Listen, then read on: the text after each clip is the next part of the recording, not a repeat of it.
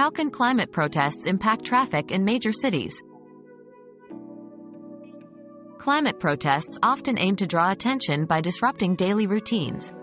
Recently, activists blocked the I-395 into D.C., leading to significant traffic delays. Such actions emphasize the urgency of the climate crisis. While this method raises awareness, it also poses challenges to city commuters. For those driving in urban areas, it's wise to stay updated on potential disruptions and plan alternative routes. Supporting the cause doesn't mean you can't be prepared.